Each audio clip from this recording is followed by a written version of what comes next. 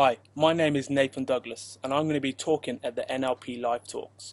I'm an Olympic athlete and a peak performance coach. I'm going to talk to you about my journey as an athlete, some of the highs and lows, and how to be resilient. You know, I think it's extremely important to be resilient in our world now. How to deal with stress and pressure, how to perform at the top percentile of our world, and deal with everything that comes with that.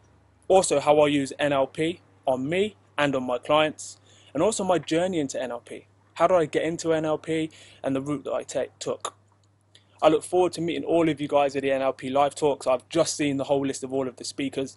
I think it's going to be an absolutely great day, and I can't wait to be there. I look forward to meeting you.